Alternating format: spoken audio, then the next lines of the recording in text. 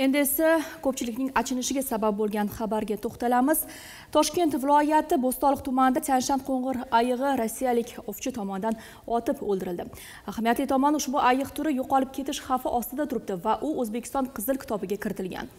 Ushbu xabar ko'pchilikka yomon ta'sir qilgani bor gap albatta. Ahamiyatli tomoni rossiyalik ovchining e, ikkita qo'ng'ir ayiqni ovlashi uchun davlat ekologiya qo'mitasi raisi alisher maqsudov imzosi bilan ruxsatnoma rasmiylashtirilgan.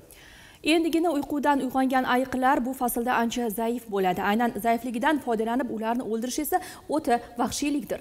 Bu holatga munosabatlar ham bildirilmoqda. Jumladan deputat rasul kusherbayev ekologiya qo'mitasining vazifasi hayvonot va o'simliklar dunyosini asrashdan iborat.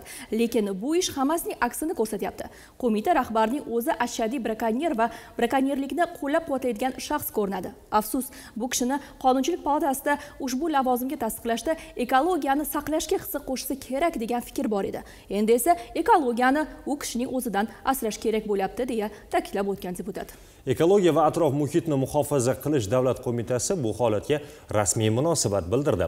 Ya'ni ruxsatnoma berish jarayoni qonunchilikka to'liq rioya qilingan holda amalga oshirilgan. Aniqrog'i 2020 yilning 25 noyabrda fanlar akademiyasiga qonun talablariga asosan yovvoyi hayvonlarni tutishga doir e, kvota loyihasini e, ko'rib chiqib xulosa berish uchun e, so'rov yuborilgan. Ikki ming yigirmanchi yilning to'rtinchi dekabr sanasida fanlar akademiyasining e, demak bioresurslar bo'yicha idoralararo komissiyasi ikki ming yigirma birinchi yil uchun noyob va qizil kitobga kiritilgan hayvonlarga ajratilgan kvotalar to'g'risidagi xulosasini qo'mitaga taqdim etgan.